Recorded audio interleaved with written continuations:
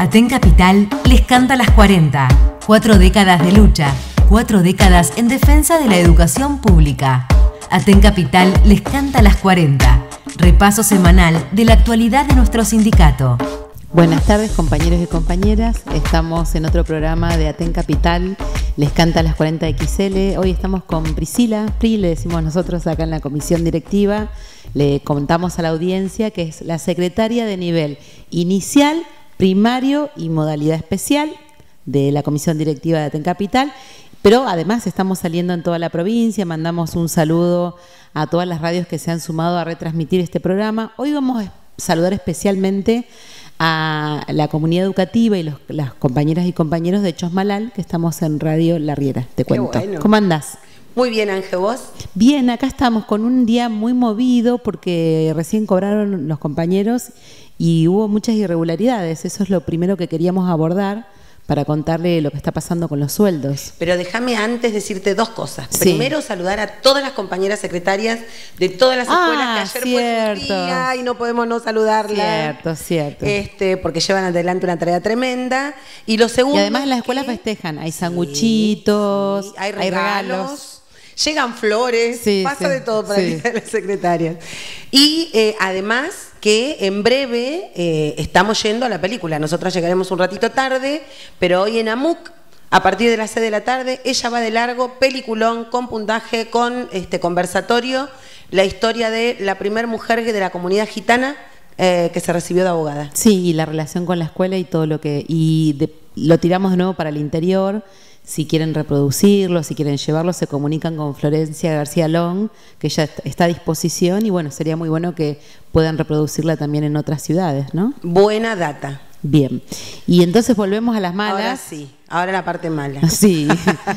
Mira, efectivamente, eh, nosotros so- nosotras sospechábamos bastante que íbamos a tener estos días eh, de mucho conflicto porque eh, habían empasa- empezado a impactarse las plantas funcionales en las escuelas secundarias, producto de la reforma educativa que está intentando imponer tanto el gobierno del MPN como el TEP, la conducción TEP de, de ATEM provincial. Y sabíamos que esto iba a generar este, mucho lío porque eh, se combinan altas y bajas y carga de cantidad de horas que antes no estaban. Bueno, esto efectivamente y lamentablemente ha generado un gran este, lío en los salarios de los compañeros y compañeras eh, y es muy importante que sepan que al menos desde Aten Capital, aunque aprovechando este espacio provincial que sale en un montón de lados, invitamos a todos los compañeros y compañeras a que hagan los reclamos en sus seccionales, pero bueno, nosotros por ahora estamos eh, recopilando la información para poder hacer, como todos los meses, el reclamo ante distrito. Hay compañeras que han cobrado cero pesos. Y esto es gravísimo. Nosotros, como todos los años, salimos, perdón, como todos los meses, vamos a reclamar a los distritos o al Consejo Provincial de Educación, siempre con una resistencia a ser recibidos, a que nos, a que nos escuchen, a que escuchen a las compañeras, eh, que incluso, eh, si me permitís, sabemos que hay muchas compañeras mujeres que son sostén de hogar, entonces no cobrar su salario eh, implica un desajuste muy, muy Eso te iba a decir, le recordamos a la audiencia, estamos en, con Priscila Otón, la compañera de secretaria de nivel primario, y te iba a decir que además de ser un golpe no cobrar un peso, estamos sufriendo una devaluación muy importante, con lo cual el sueldo alcanza cada vez menos parte del mes. Entonces, a eso hay que sumarle que todos están esperando la fecha de cobro y no cobras nada. No, y es tremendo, Angélica, porque eh, hay, una, hay una descaradez por parte del gobierno, porque nosotras sabemos, porque atendemos muchos reclamos también de compañeras y compañeros, que por una mala maniobra en los distritos, te pagan de más. Vos no te das cuenta, sobre todo en media, esto pasa en todos los niveles, pero sobre todo en media, que sos golondrina y andás por un montón de escuelas, entonces mucho control de los recibos de sueldo no hay, de repente te pagaron de más y de repente te llega una suerte de embargo, una intimación que tenés que, y te descuentan ese día con el aumento que te haya tocado. Sin embargo, cuando a nosotras nos tienen que pagar, eh, no pasa lo mismo. No nos actualizan al momento en el que nos tienen que pagar y este, los intereses que se acumulan en los servicios, luz, gas, agua, teléfono, celular, todos los gastos que tenemos corrientemente, eh, no, no nos devuelven la plata actualizada. con la inflación. Entonces, es tremendo, es tremendo y realmente eh, ningún funcionario se pone en el lugar de una compañera, un compañero que se queda sin cobrar su salario. Te iba a hacer una pregunta porque tenemos diferentes situaciones. Compañeras que tienen muchos problemas para cobrar, esto es algo casi crónico, todos los meses tenemos que hacer algo que no deberíamos hacer, exigimos la complementaria, esto pasa en toda la provincia, es, eh, digamos, sistemático. Por otro lado, tenemos las bajas de eh, la situación de la reforma, la aplicación de la reforma educativa, eh, sabíamos que iba a ser, pues es un cambio sistémico, no es así nomás. Lo están haciendo ahora porque solamente porque no les importa nada, porque por qué hacerlo en septiembre, lo están haciendo porque quieren hacerlo antes de irse del gobierno. Y hay otra situación más que es un intento aleccionador del gobierno, por parte del gobierno y también de la burocracia sindical que llamó a no hacer las medidas de TEN Capital, que vinieron descuentos de las acciones de lucha que hicimos. Totalmente. Mira, la verdad es que yo intento pensar cómo decirlo de otra manera, pero digo, contra los compañeros no se puede ir, ya eso es cruzar un límite. Y cuando uno escucha que el secretario general de nuestro sindicato sale públicamente por los medios a decir que ellos no convocan a la medida. Digo porque está bien, las diferencias están claras, las tenemos, son públicas, pero de ahí a salir a desconocer y eh, una medida de fuerza porque está convocada por la seccional capital. Y además a, ponerse del lado del gobierno en el tema de los descuentos, la verdad que también es cruzar un límite del que no se vuelve en términos de defensa de los derechos de los trabajadores y trabajadoras. Efectivamente ha llegado un descuento masivo eh, que no solo significa un ataque concreto a, la organización sindical y a las medidas con las que salimos a defender nuestros derechos laborales, eh, sino también un intento aleccionador. En este sentido, yo creo que, eh, bueno, por supuesto estamos organizando todos los reclamos administrativos como corresponde, pero fundamentalmente el reclamo político, porque no se puede coartar el derecho a huelga, porque no se puede coartar el derecho sindical a organizarse y a salir a reclamar. Yo creo que si pudiéramos hacer un reconto de las medidas sindicales que hemos tenido nosotras este año, incluso desde el año pasado, todas están absolutamente justificadas. Si no es por los ataques que hemos recibido en el nivel inicial, las situaciones de violencia, han sido escuelas que han parado porque explotó un calefactor, porque hay pérdidas de gas, porque hay infancias y trabajadoras de la educación descompuestas en los hospitales. O sea, realmente hoy eh, hemos, hemos tenido a lo largo de este año situaciones de medidas de fuerza en defensa propia, en defensa incluso de la vida, Angélica, y eso es tremendo. Y que encima tengan la caradurez de decir que lo van a descontar, bueno, ahora nos tendremos que organizar para ver cómo logramos este, que nos reintegren y si no, al menos que les quede claro que vamos a seguir organizadas y convocando cada vez que sea necesario a una medida de fuerza. Claro, porque este descuento, para, para, para contarles a las compañeras que estamos hablando de los descuentos de días de paro o de acciones de lucha. Acciones de lucha porque incluso hay jornadas unificadas. Claro. Es una es un poco una medida eh, de intentar elecciones porque lo que ocurrió es que el secretario general de este sindicato salió a decir que no había medida y hubo medida de más del 90%. Entonces, no olvidemos que es un triunfo político de la democracia sindical, porque lo que demostramos con esas medidas es que acá no manda un dirigente, acá mandan las asambleas. Entonces, por supuesto, tenemos el descuento, que nadie está de acuerdo con el descuento, pero primero tuvimos el triunfo político y lo seguimos sosteniendo, y eso lo sabe la burocracia sindical, y también sabe el gobierno que acá siguen mandando las bases y que cuando votamos una medida la gente la cata y que no sale ningún dirigente así, que hace mucho que no pisa el aula, a decir acá no hay medida porque queda desautorizado, haciendo el ridículo un poco en, la radio. Entonces que no nos quede solo el balance de lo económico, sino también un balance político porque si esto no cambia, seguiremos haciendo medidas, porque eh, razones sobran, digamos, para, para luchar. Y mira, ahora en este contexto salarial en el que estamos, tenemos que pensar. Sí, claro. O sea, tenemos que pensar a ver qué hacemos, porque realmente son muchísimas las compañeras y compañeros que no cobraron un mango. Vamos a estar avisando, seguramente convocaremos esas medidas. Vamos ahora a un corte y les contamos que en la segunda parte del programa seguimos con Priscila y vamos a tener de invitado a un estudiante, porque la reforma educativa tiene una pata que es la laboral, que es la que estuvimos abordando recién, pero también tiene una pata de una consecuencia educativa. Así que nos vemos en un Dale, Ángel. Estamos en calle Roca 1831, de 8 de la mañana a 20 horas. Búscanos en la web y en todas las redes como Aten Capital en Lucha.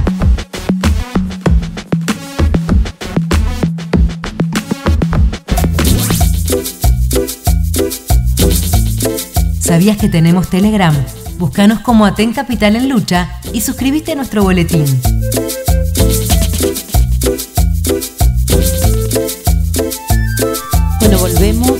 Programa de Aten Capital. En este miércoles que volvimos en la primera parte, abordamos la situación salarial, eh, diferentes razones, consecuencias de la reforma, el descuento de días de paro y llamamos a que se organicen todos y que y seguramente vamos a estar convocando alguna medida de lucha. Estamos con Priscila Otón, le contamos a los compañeros y compañeras.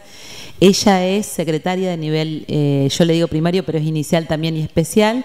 Y en esta parte, Priscila, vamos a abordar eh, la reforma y tenemos una otra invitada más.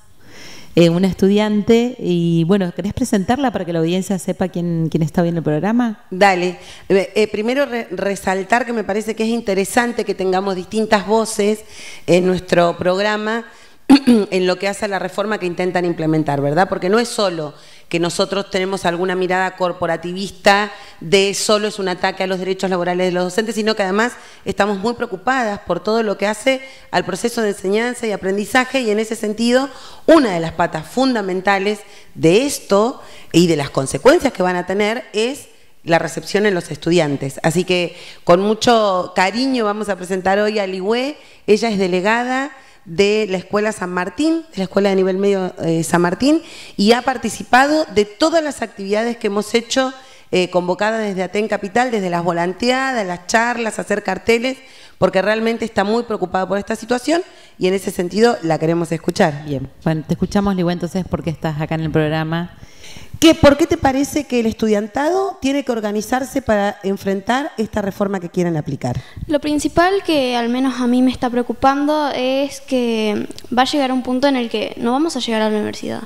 Nos están... Eh, nuestras enseñanzas ya están bastante regulares en algunos sentidos. Hay pocos profesores porque a veces se tiene que renunciar por muchos motivos y estamos de por sí preocupados por cómo vamos a llegar a un futuro. Eh, actualmente lo que más estamos notando es que quieren volvernos un jardín para personas adolescentes. No, no están buscando que la enseñanza sea lo principal de todo esto, que es justamente nuestra educación. Vos decís como un espacio en el que los profesores deberíamos ir solo a cuidarlos. Sí, es prácticamente lo que están pidiendo, porque es obvio de que esto no va, van a intentar ocultar muchos de los problemas que hay diariamente y también el mismo conflicto de que los estudiantes no solamente estamos para justamente sentarnos en una silla y estar. ¿Y para qué más están los estudiantes, Lee, en las escuelas? Justamente para un avance. Estamos, nosotros seríamos las personas que vamos a tener que llegar a las universidades y futuramente al trabajo. Nosotros somos las personas que vamos a dar a un futuro.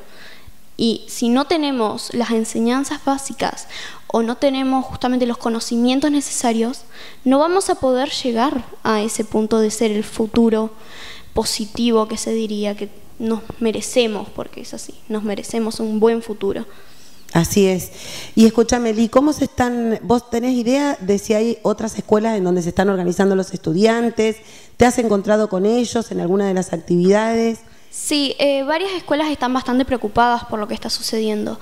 Actualmente eh, no, somos de las únicas escuelas movilizándonos. Eh, actualmente ya se han hecho tanto charlas como volanteados en sus escuelas. siguen estando los folletos, los volantes que se entregan los mismos delegados o hasta los mismos alumnos, quienes se acercan a pedir justamente para poder entregar a sus cursos. Eh, a sus mismas familias. El movimiento está y es bastante notable. Actualmente eh, estamos juntando gente para poder eh, hablar este tema específico, porque creo que lo que más necesitamos es unión en este momento. Estamos pasando por una crisis en la educación, estamos pasando por muchas crisis sociales y lo que más necesitamos es justamente organización, que es por lo que estamos acá. Eh, actualmente sí, hay bastantes escuelas movilizándose, pero con poca participación. Entonces parece, pareciera que nos estuvieran ignorando. Por eso mismo justamente vengo acá, para que se haga escuchar que eh, estamos intentando tanto movilizarnos como organizarnos, como poder intentar evitar que todo esto vaya pasando y arruine nuestra educación. Aprovecha, si, le si tuvieras a los chicos secundarios, a las chicas ahora escuchándote, ¿qué es lo que le dirías para, para acompañar esta lucha? Primero que nada, que nada, que justamente al menos yo estoy con los brazos abiertos para cualquier pregunta, pedido. Eh, yo actualmente eh, creé un grupo eh, de WhatsApp en el que todas las personas que estén en contra de la reforma pueden unirse. Yo les puedo enviar un enlace, se unen. Todas las personas que estén en contra, que quieran organización, que quieran saber lo que está pasando, van a ser informadas desde ese grupo en el que vamos a estar hablando regularmente además para formar unión justamente. Y estaría muy bueno que todos los que puedan participar, eh, ir a las charlas, marchar por lo que está pasando, luchar por lo que está pasando, sería muy bueno, la verdad. Un posicionamiento muy claro en defensa de la escuela pública, ¿no? Y, y, además me parece que es muy interesante escuchar a una estudiante que se planta desde el quiero aprender, ¿no? Quiero defender el proceso de enseñanza, los que podamos llegar en las mejores condiciones posibles o al trabajo o a seguir estudiando en la universidad, que es un derecho también adquirido. Bueno, estuvimos recién con Priscila y con Liwe, vos le decís Li, eh, muy chiquita, tiene 14 años. Eh, saludamos que las estudiantes estén organizando, informando. Eso es un proceso de aprendizaje muy, muy, o sea, imagínense que en esta reforma le contamos a la audiencia los grandes ausentes que no fueron consultados es el estudiantado y las familias. No saben nada. En algunas escuelas se están informando que les cambió el horario, cuando es un cambio muy, muy profundo. Estamos hablando de un montón de pérdidas de horas específicas. Entonces, lo primero que saludamos es que las estudiantes se movilicen, se organicen y se informen en un momento político, además que, digamos, hay un resurgimiento de la derecha, quieren decir que la juventud está ligada a esa derecha, nos acercamos un 16 de septiembre que ya estaremos convocando actividades, entonces lo primero que saludamos es esto y llamamos a que respeten el derecho a la organización de las y los estudiantes, que además que tiene una legislación, que es la 2302, más allá de la legislación, es un derecho de ellos y de ellas informarse. Eh, y vos la invitaste para que cuente el punto de vista de, de, las estudiantes, pero también hay familias que se están organizando, lo vimos en algunas reuniones, padres, madres, Así que los convocamos también a que las familias eh, levanten la voz en las escuelas y pidan información. Sí, es muy, es muy importante. Eh, es muy importante que todas las personas que tienen que ver con el sistema educativo se informen y que ante la duda pregunten, porque, o sea, puede ser que no lleguemos a todas las escuelas, que las compañeritas estudiantes este, no lleguen a, a todas las personas con la información, pero los adultos responsables de quienes hoy transitan las escuelas secundarias tienen también el derecho a elegir, a preguntar, a saber qué es lo que está pasando, por qué mi hijo, mi hija le cambiaron los horarios, por qué tiene menos clases de lengua, por qué tiene más clases de alguna otra cosa. Es muy importante porque esto hace al proceso de enseñanza y al proceso de aprendizaje que hoy, por lo menos desde esta directiva, estamos convencidas que se está dejando de lado, ¿verdad? Yo decíamos el otro día eh, qué maravilla poder trabajar con una dupla pedagógica, qué maravilla poder encontrarnos con el resto de las compañeras de un área, por ejemplo, de comunicación, pero qué tremendo que eso sea en función de perder horas este, frente a los estudiantes. O sea, hoy la escuela secundaria la especificidad que tenemos de cada materia eh, no se puede comparar con la cantidad de horas que pasa un estudiante de primaria con su seño en el aula, ¿verdad? Y si encima, que ya me parece que son pocas, este, si a eso le vamos a quitar, estamos en un problemón. Lo que está claro es que el gobierno, en connivencia con el TEP, quieren mano de obra barata, quieren que los chicos y las chicas ingresen en primero, salgan en quinto, no importa cuánto o cómo hayan aprendido, ni qué hayan aprendido, pero que sí salgan a engrosar las este, filas y filas de trabajadores este, mal pagos, de trabajadores precarizados, que es lo que necesita en definitiva este sistema capitalista para seguir subsistiendo. Bueno, estamos, le contamos a la audiencia que estamos terminando un programa donde abordamos distintos aspectos de las consecuencias de la reforma. Seguimos, venimos hace varios programas.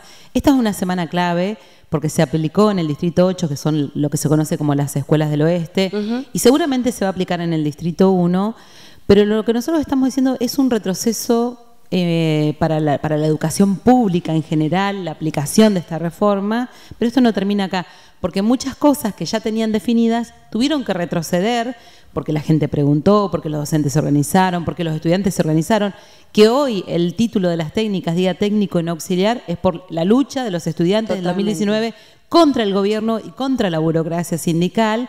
Y no está todo dicho además, porque esta es una parte de la aplicación de la reforma. Otra parte, también eh, muy profunda, es la polifuncionalidad para docentes y para preceptores. Así que tenemos que seguir. Acá nadie baja los brazos, informamos, explicamos y vamos a resistir cada una de estas cosas. ¿Y quién dice si con la lucha organizada de las familias no van a tener que retroceder? Así que llamamos a que acá no hay nada perdido y solamente lo imponen por métodos coercitivos de persecución, sumarios colectivos en la PET 7, eh, mentiras, amenazas y con la desinformación a las familias. Así que sigamos organizando las escuelas. Mira, un ejemplo de, que siempre con la organización se puede, con la organización y con la lucha se puede, es los estudiantes y las estudiantes de la Escuela de Enfermería, que también vaya de acá un saludo y unas felicitaciones enormes por la lucha porque se plantaron, no acataron ni siquiera la suerte de conciliación obligatoria que les plantearon desde el CPE y lograron este, conquistar lo que estaban pidiendo, que era que no cierren la, la, carrera, que incorporen más horas de enfermería para poder llegar a la profesionalización de su título, que no les bajen la calidad de su título y eso es muy importante y se dio gracias a la organización y la lucha. Así que por supuesto que no está todo perdido y vamos a seguir organizados para seguir defendiendo nuestros derechos y conquistando lo que falta. Bien, muchas gracias Priscila, muchas gracias Liwen. Gracias Li. Un saludo a la audiencia y nos vemos el próximo miércoles. Nos vemos. Esto fue Aten Capital les canta las 40, el repaso semanal de la actualidad de nuestro sindicato.